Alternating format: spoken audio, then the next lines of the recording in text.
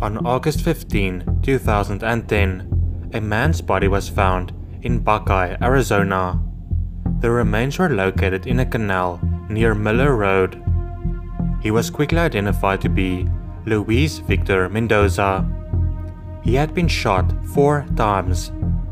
Investigators interviewed a number of witnesses and even identified a potential suspect. But then leads dried up and investigation went cold. Then in July 2020, the Buckeye Police Department's Major Crimes Unit reopened the case. They conducted extensive follow up interviews with the key witnesses they had identified. All of the witnesses identified Phoenix resident Antonio Padilla as the person who took the life of Luiz. Investigators learned that Antonio was released from an Arizona prison earlier in 2020. He served time for a weapons violation and gang activity. In the early hours of July 22, 2020, Phoenix police located Antonio near 19th Avenue and Bell Road. They took him into custody during a traffic stop. At the time of his arrest, he was armed. Buckeye Police Chief Larry Hall said, This is exactly the kind of outcome I expected when forming this team. I have no doubt there will be a resolve to more unsolved cold cases in the near future. Why Antonio took the life of Luiz Victor Mendoza is still not known.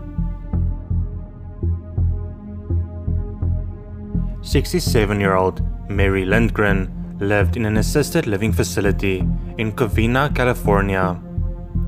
On January 19, 1996, Mary's body was found in her bedroom at the Covina Villa retirement home. She had been beaten and assaulted before her life was taken. Detectives interviewed facility workers, residents, and anyone else connected with the facility. They were unable to come up with a suspect, however. They processed DNA found at the scene and entered it into the state and federal criminal justice databases, but did not find a match. The case went cold. That was until 2019. It was then that investigators decided to take another look into the case. They sent in the DNA they had to the State Department of Justice. Then, in July of 2020, they heard that a match was found. Using the results, they identified 46 year old El Monte resident David Adolf Bernal. He was arrested in August of 2020. His bail was set at $2 million. Mary's family members said they are relieved that he was finally caught and they credited the Los Angeles County Sheriff's Department for not letting the case go. We are profoundly grateful that the person who took her life has been identified and arrested. We are haunted by the brutal crime for nearly two and a half decades. We are relieved to know that justice will finally be served. It was not disclosed if Mary knew David or if she was a victim of a random attack.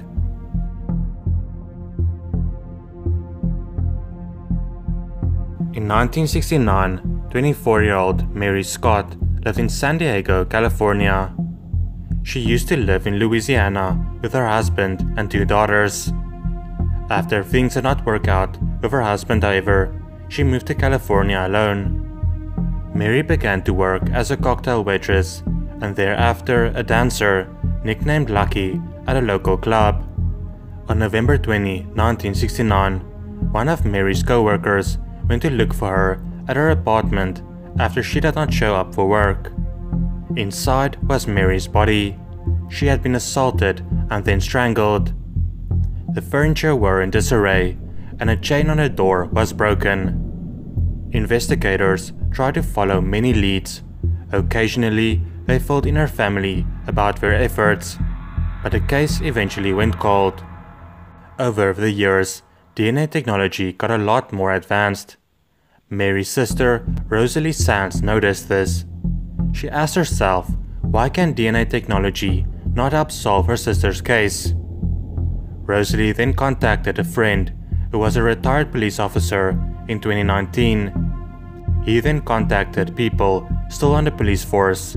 The case was then reopened. The San Diego Police Cold Case Unit took the DNA that was retrieved from the crime scene back in 1969 and used forensic genealogy to identify a suspect. The results of the DNA test led them to 75 year old John Jeffrey Sipos. John was in the Navy in San Diego when the crime took place in 1969. On October 24, 2020, John was arrested in Schnecksville, Pennsylvania. He is currently being held at the Lehigh County Detention Center. Rosalie said this after learning who took her sister's life.